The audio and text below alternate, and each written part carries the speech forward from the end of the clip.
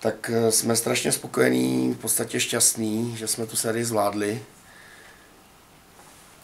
Samozřejmě měli jsme v hlavách někde vzadu, že kdyby jsme to tam dneska nezvládli, takže ještě tady můžeme v pátek hrát před těma, naši, před těma našimi fantastickými fanouškama, ale jak říkám, nechtěli jsme tahat čerta za ocas, takže jsme to dali úplně všechno.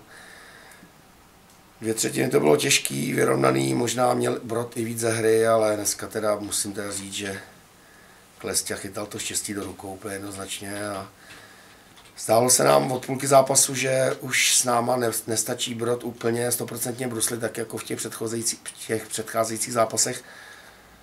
No a v té třetí třetině teda, když jsme přežili tu dvojnásobnou dvojnásobný oslabení, 4 minuty v kuse a pak jsme hned dali gol, tak jsme v podstatě ten zápas rozhodli. No, takže, jak říkám, jsme hrozně šťastní.